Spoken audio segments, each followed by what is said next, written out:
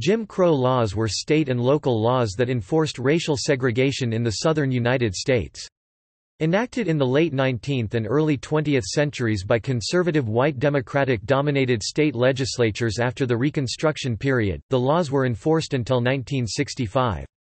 In practice, Jim Crow laws mandated racial segregation in all public facilities in the states of the former Confederate States of America, starting in the 1870s and 1880s, and were upheld in 1896, by the U.S. Supreme Court's separate but equal legal doctrine for facilities for African Americans, established with the court's decision in the case of Plessy v. Ferguson.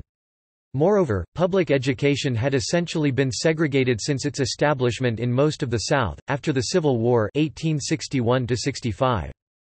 The legal principle of «separate, but equal» Racial segregation was extended to public facilities and transportation, including the coaches of interstate trains and buses. Facilities for African Americans were consistently inferior and underfunded, compared to the facilities for white Americans, sometimes there were no black facilities.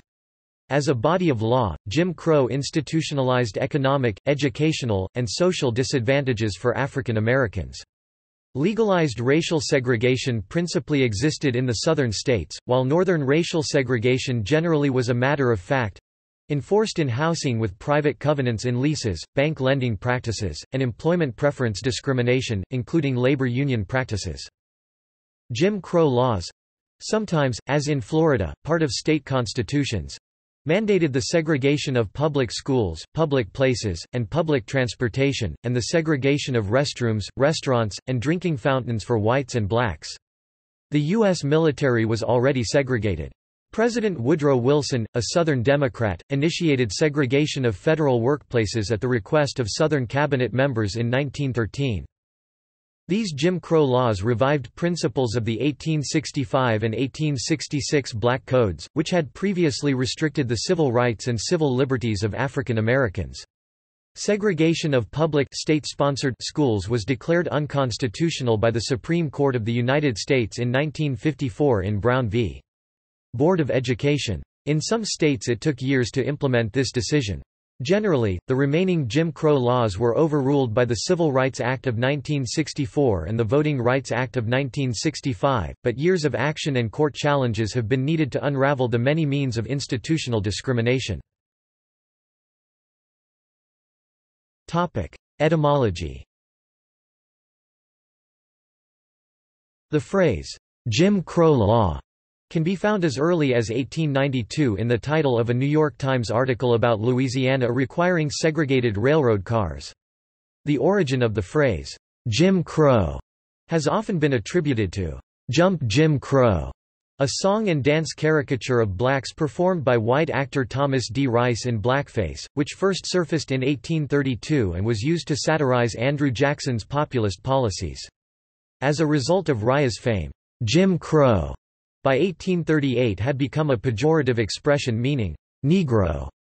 When Southern legislatures passed laws of racial segregation directed against blacks at the end of the 19th century, these statutes became known as Jim Crow laws.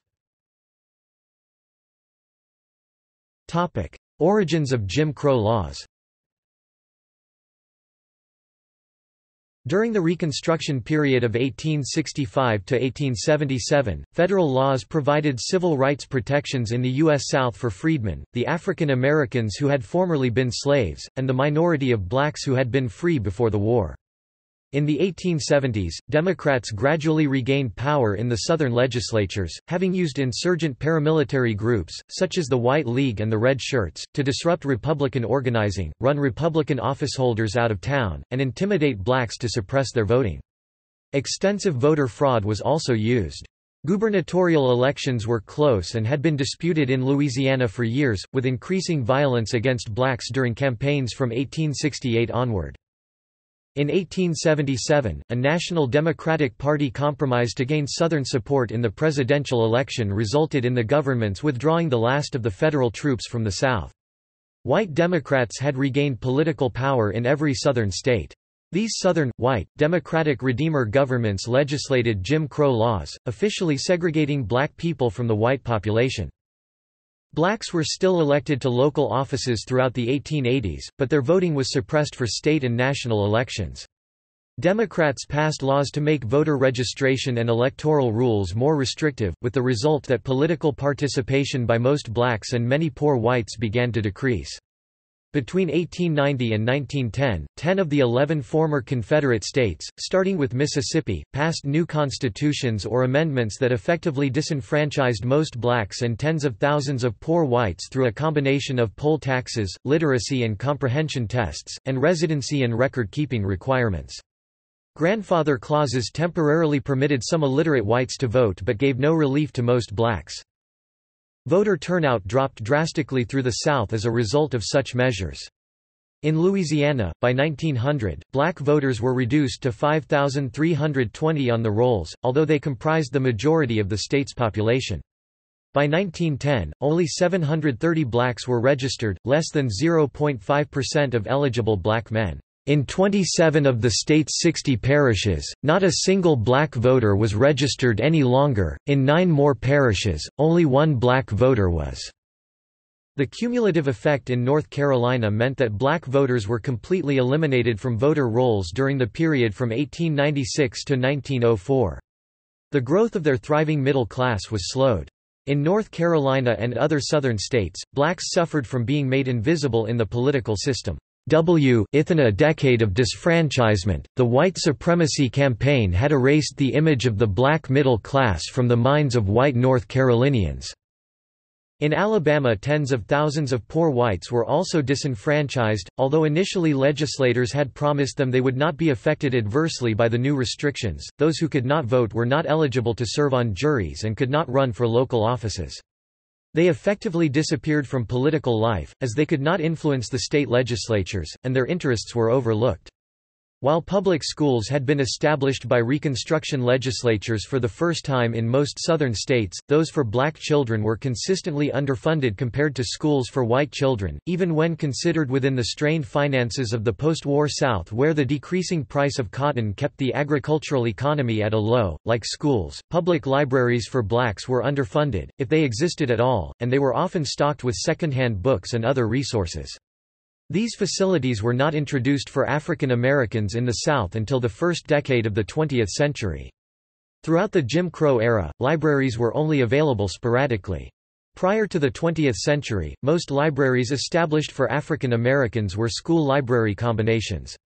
Many public libraries for both European American and African American patrons in this period were founded as the result of middle-class activism aided by matching grants from the Carnegie Foundation. In some cases, progressive measures intended to reduce election fraud, such as the eight-box law in South Carolina, acted against black and white voters who were illiterate, as they could not follow the directions.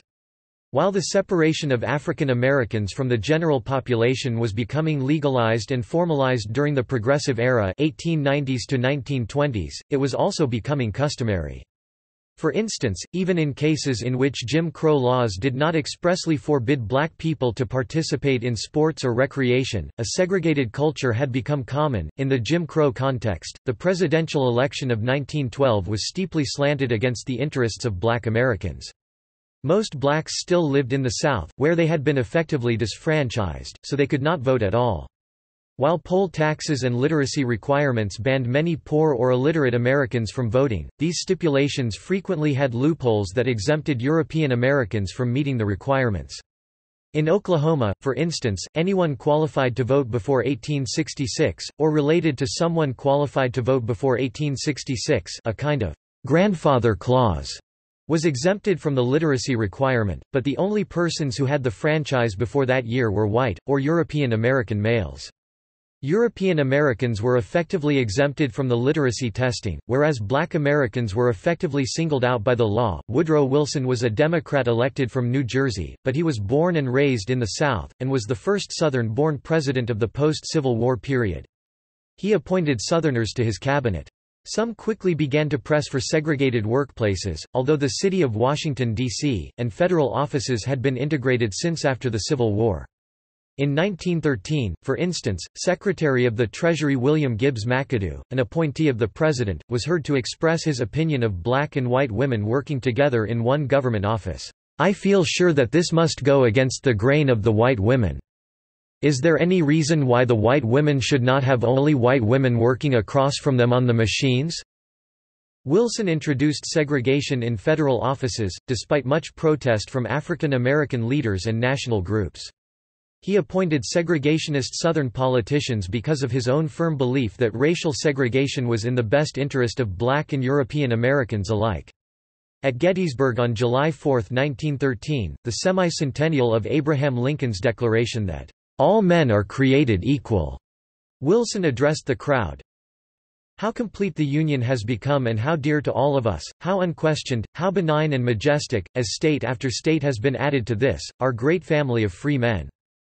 In sharp contrast to Wilson, a Washington Bee editorial wondered if the «reunion» of 1913 was a reunion of those who fought for «the extinction of slavery» or a reunion of those who fought to «perpetuate slavery and who are now employing every artifice and argument known to deceit» to present emancipation as a failed venture. Historian David W. Blight notes that the «Peace Jubilee» at which Wilson presided at Gettysburg in 1913 was a Jim Crow reunion, and white supremacy might be said to have been the silent, invisible master of ceremonies. See also, Great Reunion of 1913. In Texas, several towns adopted residential segregation laws between 1910 and the 1920s. Legal strictures called for segregated water fountains and restrooms. Jim Crow laws were a product of what had become the solidly Democratic South due to disfranchisement of blacks. Early attempts to break Jim Crow The Civil Rights Act of 1875, introduced by Charles Sumner and Benjamin F. Butler, stipulated a guarantee that everyone, regardless of race, color, or previous condition of servitude, was entitled to the same treatment in public accommodations, such as inns, public transportation, theaters, and other places of recreation. This act had little effect. An 1883 Supreme Court decision ruled that the act was unconstitutional in some respects, saying Congress was not afforded control over private persons or corporations. With white Southern Democrats forming a solid voting bloc in Congress, due to having outsize power from keeping seats apportioned for the total population in the South although hundreds of thousands had been disenfranchised, Congress did not pass another civil rights law until 1957. In 1887, Rev. W. H. Heard lodged a complaint with the Interstate Commerce Commission against the Georgia Railroad Company for discrimination, citing its provision of different cars for white and black, colored passengers. The company successfully appealed for relief on the grounds it offered separate but equal accommodation. In 1890, Louisiana passed a law requiring separate accommodations for colored and white passengers on railroads. Louisiana law distinguished between white, black, and colored, that is, people of mixed European and African ancestry. The law had already specified that blacks could not ride with white people, but colored people could ride with whites before 1890. A group of concerned black, colored and white citizens in New Orleans formed an association dedicated to rescinding the law. The group persuaded Homer Plessy to test it, he was a man of color who was of fair complexion and one-eighth Negro in Ancestry, in 1892, Plessy bought a first-class ticket from New Orleans on the East Louisiana Railway. Once he had boarded the train, he informed the train conductor of his racial lineage and took a seat in the whites-only car. He was directed to leave that car and sit instead in the colorids-only car. Plessy refused and was immediately arrested. The Citizens Committee of New Orleans fought the case all the way to the United States Supreme Court. They lost in Plessy v. Ferguson 1896, in which the court ruled that separate but equal facilities were constitutional. The finding contributed to 58 more years of legalized discrimination against black and colored people in the United States. In 1908, Congress defeated an attempt to introduce segregated streetcars into the capital. Topic: Racism in the United States and defenses of Jim Crow. White Southerners encountered problems in learning free labor management after the end of slavery, and they resented black Americans, who represented the Confederacy's Civil War defeat. With white supremacy being challenged throughout the South, many whites sought to protect their former status by threatening African Americans who exercised their new rights. White Democrats used their power to segregate public spaces and facilities in law and re-establish social dominance over blacks in the South. One rationale for the systematic exclusion of black Americans from Southern public society was that it was for their own protection. An early 20th-century scholar suggested that allowing blacks to attend white schools would mean constantly subjecting them to adverse feeling and opinion, which might lead to a morbid race consciousness. This perspective took anti-black sentiment for granted, because bigotry was widespread in the South after slavery became a racial caste system. Post-World War II era After World War II, African Americans increasingly challenged segregation, as they believed they had more than earned the right to be treated as full citizens because of their military service and sacrifices. The civil rights movement was energized by a number of flashpoints, including the 1946 police beating and blinding of World War II veteran Isaac Woodard while he was in U.S. Army uniform. In 1948 President Harry S. Truman issued Executive Order 9981, desegregating the armed services, as the civil rights movement gained momentum and used federal courts to attack Jim Crow statutes. The white-dominated governments of many of the southern states countered by passing alternative forms of restrictions. The NAACP Legal Defense Committee, a group that became independent of the NAACP, and its lawyer, Thurgood Marshall, brought the landmark case Brown v. Board of Education of Topeka, 347 U.S. 483 1954 before the Supreme Court. In its pivotal 1954 decision, the court unanimously overturned the 1896 Plessy decision. The Supreme Court found that legally mandated de jure public school segregation was unconstitutional. The decision had far-reaching social ramifications. History has shown that problems of educating poor children are not confined to minority status, and states and cities have continued to grapple with approaches. The court ruling did not stop de facto or residentially based school segregation. Such segregation continues today in many regions. Some city school systems have also begun to focus on issues of economic and class segregation rather than racial segregation, as they have found that problems are more prevalent when the children of the poor of any ethnic group are concentrated. Associate Justice Frank Murphy introduced the word racism into the lexicon of U.S. Supreme Court opinions in Korematsu v. United States, 323 U.S. 214 1944. He stated that by upholding the forced relocation of Japanese Americans during World War II, the court was sinking into the ugly abyss of racism. This was the first time that racism was used in Supreme Court opinion Murphy used it twice in a concurring opinion in Steele v. Louisville and Nashville Railway Co. 323192 issued that day.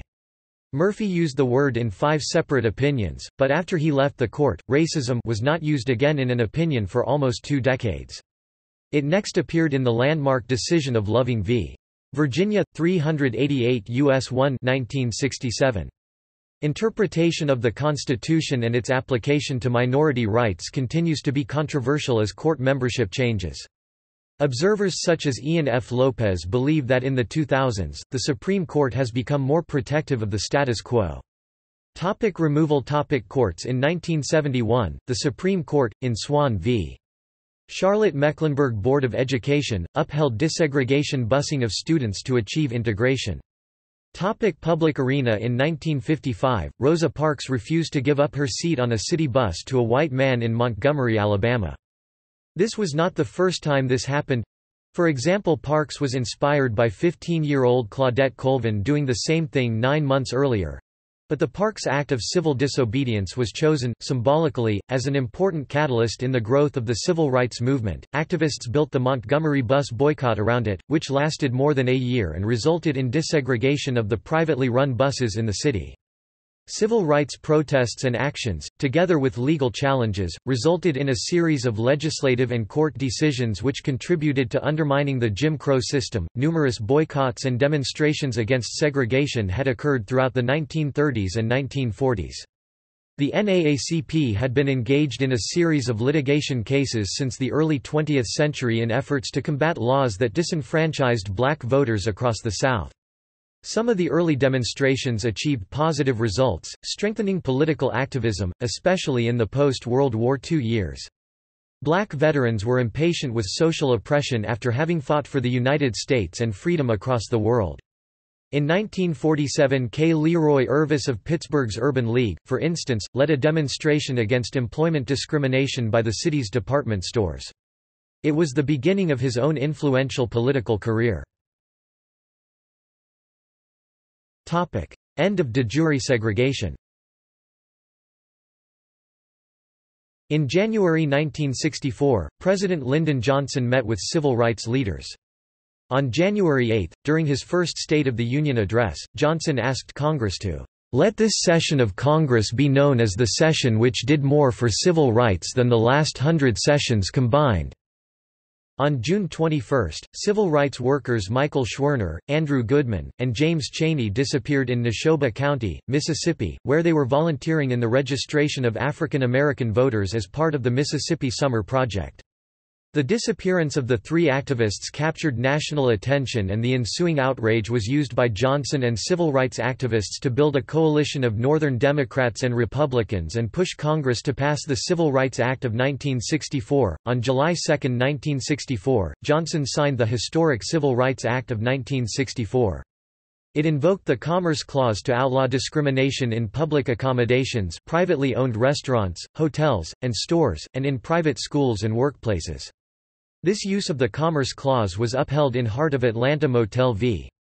United States 379 U.S. 241 1964. By 1965, efforts to break the grip of state disenfranchisement by education for voter registration in southern counties had been underway for some time, but had achieved only modest success overall. In some areas of the Deep South, white resistance made these efforts almost entirely ineffectual. The murder of the three voting rights activists in Mississippi in 1964 and the state's refusal to prosecute the murderers, along with numerous other acts of violence and terrorism against blacks, had gained national attention. Finally, the unprovoked attack on March 7, 1965, by county and state troopers on peaceful Alabama marchers crossing the Edmund Pettus Bridge en route from Selma to the state capital of Montgomery, persuaded the President and Congress to overcome Southern legislators' resistance to effective voting rights enforcement legislation. President Johnson issued a call for a strong voting rights law and hearings soon began on the bill that would become the Voting Rights Act. The Voting Rights Act of 1965 ended legally sanctioned state barriers to voting for all federal, state and local elections. It also provided for federal oversight and monitoring of counties with historically low minority voter turnout. Years of enforcement have been needed to overcome resistance, and additional legal challenges have been made in the courts to ensure the ability of voters to elect candidates of their choice. For instance, many cities and counties introduced at-large election of council members, which resulted in many cases of diluting minority votes and preventing election of minority-supported candidates, although sometimes counted among Jim Crow laws of the South. Such statutes as anti-miscegenation laws were also passed by other states. Anti-miscegenation laws were not repealed by the Civil Rights Act of 1964 but were declared unconstitutional by the 1967 Supreme Court ruling in Loving v. Virginia. African American life The Jim Crow laws and the high rate of lynchings in the South were major factors which led to the Great Migration during the first half of the 20th century. Because opportunities were so limited in the South, African Americans moved in great numbers to cities in northeastern, midwestern, and western states to seek better lives. Despite the hardship and prejudice of the Jim Crow era, several black entertainers and literary figures gained broad popularity with white audiences in the early 20th century. They included luminaries such as tap dancers Bill Bojangles Robinson and the Nicholas Brothers, jazz musicians such as Louis Armstrong, Duke Ellington and Count Basie, and the actress Hattie McDaniel in 1939 she was the first black to receive an Academy Award when she won the Best Supporting Actress Oscar for her performance as Mammy in Gone with the Wind. African American athletes faced much discrimination during the Jim Crow period. White opposition led to their exclusion from most organized sporting competitions. The boxers Jack Johnson and Joe Louis both of whom became world heavyweight boxing champions and track and field athlete Jesse Owens who won four gold medals at the 1936 Summer Olympics in Berlin earned fame during this era. In baseball, a color line instituted in the 1880s had informally barred blacks from playing in the major leagues, leading to the development of the Negro Leagues, which featured many fine players. A major breakthrough occurred in 1947, when Jackie Robinson was hired as the first African American to play in Major League Baseball, he permanently broke the color bar. Baseball teams continued to integrate in the following years, leading to the full participation of black baseball players in the major leagues in the 1960s. Topic: Remembrance. Ferris State University in Big Rapids, Michigan, houses the Jim Crow Museum of Racist Memorabilia, an extensive collection of everyday items that promoted racial segregation or presented racial stereotypes of African Americans, for the purpose of academic research and education about their cultural influence. New Jim Crow In 2012, civil rights advocate Michelle Alexander argued in The New Jim Crow that America's war on drugs, which disproportionately affected African Americans, had produced discrimination comparable to that of the Jim Crow laws. Yale law professor James Forman Jr. countered that African Americans, as represented by such cities as Washington, D.C., have generally supported tough on crime policies, and that there appears to be a connection between drugs and violent crimes. Topic. See also Topic. Footnotes Topic. Further reading Ayers, Edward L. The Promise of the New South. New York, Oxford University Press, 1992. Barnes, Catherine A. Journey from Jim Crow, The Desegregation of Southern Transit. New York, Columbia University Press, 1983. Bartley, Numan v. The Rise of Massive Resistance, Race and Politics in the South During the 1950s. Baton Rouge, Louisiana, Louisiana State University Press, 1969. Bond, Horace Mann. The Extent and Character of Separate Schools in the United States, Journal of Negro Education Volume 4 July 1935, pp. 321–327. Chin, Gabriel, and Karthikeyan, Hrishi. Preserving Racial Identity, Population Patterns and the Application of Anti-Miscegenation Statutes to Asians, 1910–1950, 9 Asian L.J. 1 2002, Campbell, Nedra.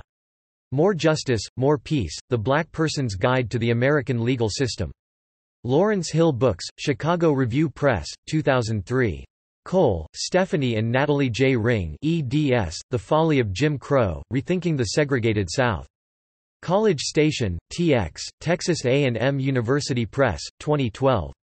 Dailey, Jane, Gilmore, Glenda Elizabeth and Simon, Bryant eds, Jumpin' Jim Crow, Southern Politics from Civil War to Civil Rights, 2000. Delany, Sarah, Delany, A. Elizabeth, and Hearth, Amy Hill. Having Our Say, The Delany Sisters' First 100 Years. Thorndike, Me, G.K. Hall & Co., 1993. Fairclough, Adam. Being in the Field of Education and Also Being a Negro. Seems. Tragic, Black Teachers in the Jim Crow South, The Journal of American History Volume 87 June 2000, pp. 65–91. Feldman, Glenn. Politics, Society, and the Klan in Alabama, 1915–1949. University of Alabama Press, 1999. Harvey Fireside, Separate and Unequal, Homer Plessy and the Supreme Court Decision That Legalized Racism, 2004. ISBN 0-7867-1293-7 Foner, Eric. Reconstruction, America's Unfinished Revolution, 1863–1877, America's Unfinished Revolution, 1863–1877. New York, HarperCollins, 1988. Gaines, Kevin. Uplifting the Race, Black Leadership, Politics, and Culture in the Twentieth Century University of North Carolina Press, 1996. Gaston, Paul M. The New South Creed, A Study in Southern Mythmaking New York, Alfred A. Knopf, 1970. Gilmore, Glenda Elizabeth. Gender and Jim Crow Women and the Politics, in North Carolina, 1896–1920 1996 Griffin, John Howard Black Like Me. New York, Signet, 1996. Haws, Robert, ed. The Age of Segregation, Race Relations in the South, 1890–1945 University Press of Mississippi, 1978. Hackney, Sheldon. Populism to Progressivism in Alabama 1969 Johnson, Charles S. Patterns of Negro Segregation Harper and Brothers, 1943. Klarman, Michael J. From Jim Crow to Civil Rights, The Supreme Court and the Struggle for Racial Equality. New York, Oxford University Press, 2004 Litwack, Leon F. Trouble in Mind, Black Southerners in the Age of Jim Crow. New York, Alfred A. Knopf, 1998. Lopez, Ian F. Haney. A Nation of Minorities, Race, Ethnicity, and Reactionary Colorblindness. Stanford Law Review, February 1, 2007. Kantrowitz, Stephen. Ben Tillman and the Reconstruction of White Supremacy 2000 Macmillan, Neil R. Dark Journey, Black Mississippians in the Age of Jim Crow. Urbana, Ill, University of Illinois Press, 1989. Medley, Keith Weldon. We as Freemen, Plessy v. Ferguson. Pelican. March, 2003. Murray, Pauli. States Law on Race and Color. University of Georgia Press, 2d ed. 1997 Davison Douglas ed. ISBN 978-0-8203-1883-7 Myrdal, Gunnar. An American Dilemma, The Negro Problem and Modern Democracy. New York, Harper & Row, 1944. Newby, I.A. Jim Crow's Defense, Anti-Negro Thought in America, 1900–1930. Baton Rouge, Louisiana, Louisiana State University Press, 1965. Percy, William Alexander. Lanterns on the Levee, Recollections of a Planter's Son, 1941. Reprint, Baton Rouge, Louisiana, Louisiana State University Press, 1993. Pye, David Kenneth. Complex Relations, An African American Attorney Navigates Jim Crow Atlanta. Georgia Historical Quarterly, Winter 2007, Volume 91, Issue 4, 453–477. Rabinowitz, Howard N. Race Relations in the Urban South, 1856–1890 1978 Smith, J. Douglas. Managing, Race, Politics, and Citizenship in Jim Crow Virginia University of North Carolina Press, 2002. Smith, J. Douglas. The Campaign for Racial Purity and the Erosion of Paternalism in Virginia, 1922–1930, nominally white, biologically mixed, and legally Negro, Journal of Southern History Vol. 68 February 2002, pp. 65–106, Smith, J. Douglas.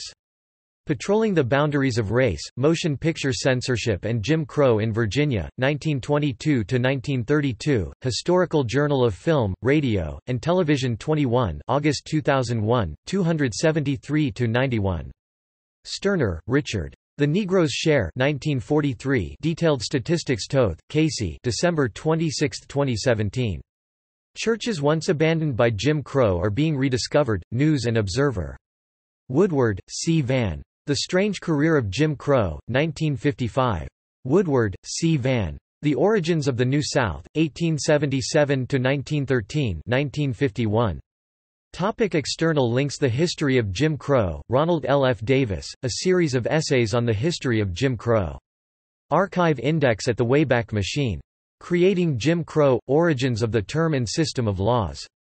Racial etiquette, the racial customs and rules of racial behavior in Jim Crow America, the basics of Jim Crow etiquette. You Don't Have to Ride Jim Crow, PBS documentary on First Freedom Ride, in 1947. List of laws enacted in various states Ferris University page about Jim Crow Voices on Antisemitism Interview with David Pilgrim, founder of Jim Crow Museum from the U.S. Holocaust Memorial Museum Jim Crow Era, History in the Key of Jazz, Gerald Early, Washington University, St. Louis, Missouri especially C section Jim Crow is Born Jim Crow Laws. National Park Service. Retrieved November 17, 2010. Examples of Jim Crow laws Jim Crow signs at A History of Central Florida podcast